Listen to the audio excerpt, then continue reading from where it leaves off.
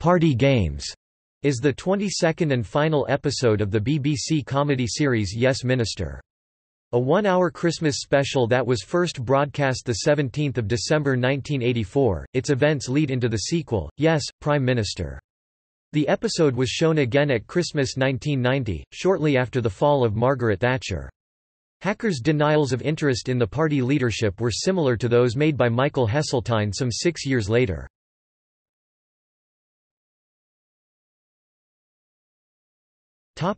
Plot Christmas is approaching, and Jim Hacker has two things on his mind. The first is a mountain of Christmas cards, which await various versions of his signature. Now that he is also party chairman, there are more to send than ever before. The second is an EEC directive on standardization of the Euro sausage, which means sausages in the UK would have to be designated as emulsified high-fat offal tubes. Hacker knows this will be very unpopular with voters. The minister is therefore reluctant to send a card to Maurice, the EEC commissioner. Meanwhile, Sir Humphrey Appleby is meeting with Sir Arnold Robinson, the cabinet secretary, who has decided to retire in the new year. He must recommend his replacement to the Prime Minister, and lists what he believes are the necessary qualities for the post. He tells Sir Humphrey that the job entails finding questions rather than answers, in particular knowing the key question Sir Humphrey changes the subject and inquires of Sir Arnold what he will be doing during his retirement. This turns out to be a very good question. Sir Arnold makes a few suggestions of activities in which he would be interested most of them chairmanships of quangos, while Sir Humphrey takes notes. The permanent secretary reassures Sir Arnold that his eventual successor should be able to arrange them for him, and Sir Humphrey is told that his name is now top of the list—in fact the only one on it. Later, Sir Humphrey tells Hacker of his imminent promotion although at first his usual circumlocution suggests to the minister that he has a terminal illness. Hacker congratulates him and is quick to think of his own future by offering the civil servant profuse compliments. Sir Humphrey is to formally announce his departure from the DAA at its Christmas drinks party. At the party, an inebriated Hacker gives a rambling speech before proposing a toast to Sir Humphrey, who in turn gives some more coherent words of thanks.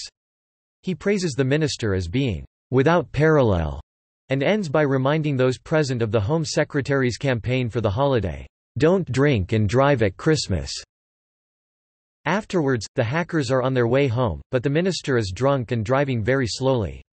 He is pulled over by the police, who are less than impressed by his conduct and very nearly arrest him. At the last minute, Hacker produces his ministerial silver badge, which grants him immunity to certain traffic laws. The policemen agree to let Annie who has stayed off the alcohol, in anticipation of such an event take over the driver's seat, and not to pursue the incident any further. The next morning, Hacker is called in to the cabinet office by Sir Humphrey, who chastises him for the incident. The minister, it turns out, was lucky in comparison with the Home Secretary, who was also caught driving while under the influence.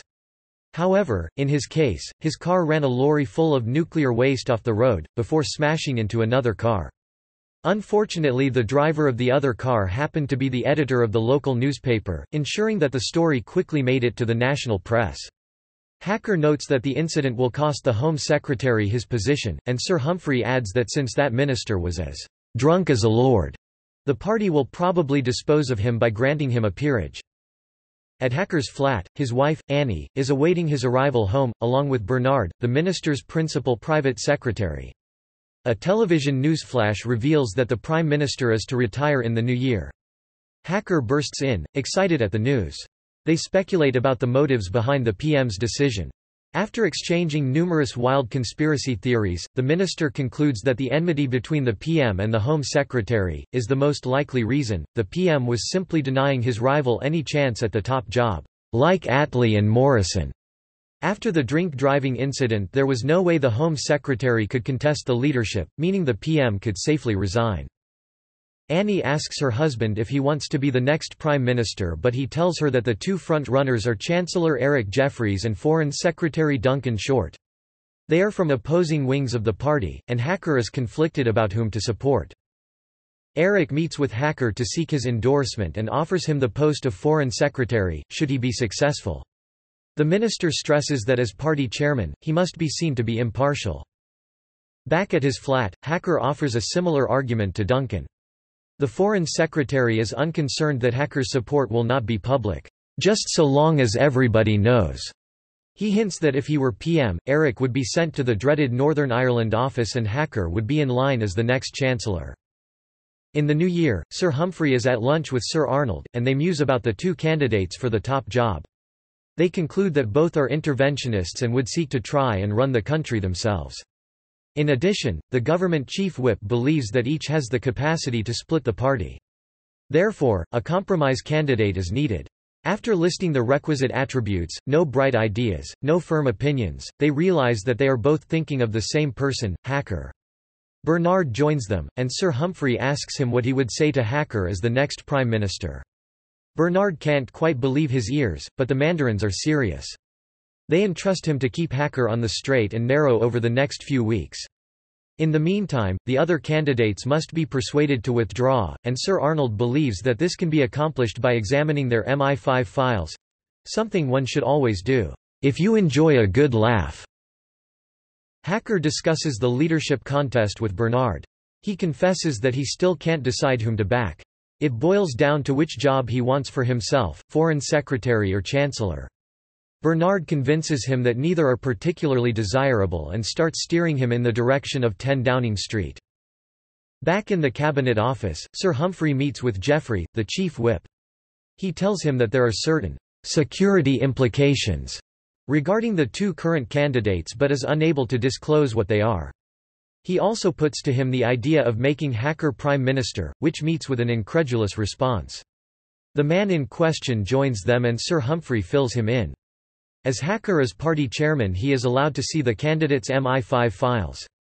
It transpires that Eric and Duncan have been guilty of sexual and financial transgressions respectively. All present now agree that neither of the pair can be PM, and a more acceptable candidate is needed. Sir Humphrey and Geoffrey gently suggest to Hacker that he might be the man. After some hesitation he states that he has no doubt he could do the job. As he is an outsider, Geoffrey tells him that he needs some sort of public success in the next few days. In the meantime, Hacker himself must reluctantly persuade Eric and Duncan to withdraw. Hacker meets with Eric and Duncan individually and, by hinting at what he has seen in their security files and promising to look after their interests, manages to achieve the desired result. Sir Humphrey then calls Hacker to an impromptu meeting with Maurice, the EEC commissioner. They use it to put forward their views over increasing interference in British affairs, in particular the problem of the Euro sausage. They convince Maurice that it should be called the British sausage. However, the minister then invites the press to his office to tell them that the sausage problem is far from resolved. He tells Bernard of his intention to manipulate the media by giving them bad news today and a triumph tomorrow. His non-story makes all the front pages the next day and that evening, Hacker travels to a public meeting about fire and safety in government buildings. En route, he and Bernard hear a radio news report giving details of Eric and Duncan's decisions to bow out, but naming no compromise candidate.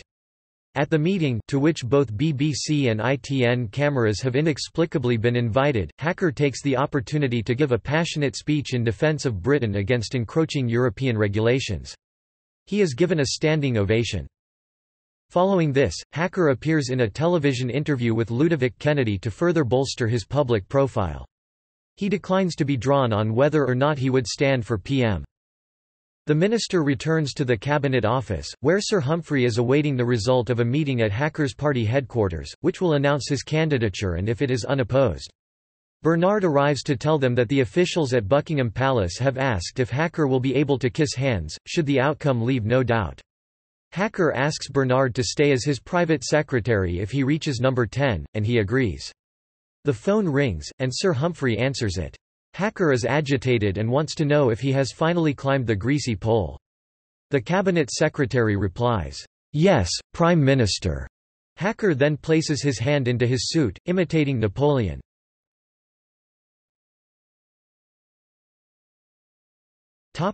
Episode cast